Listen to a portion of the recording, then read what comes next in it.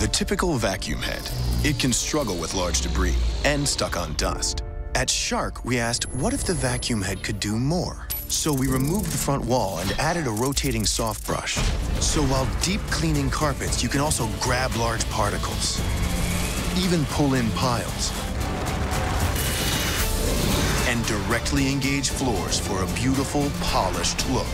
Shark DuoClean, invented to help you do more on carpets and floors.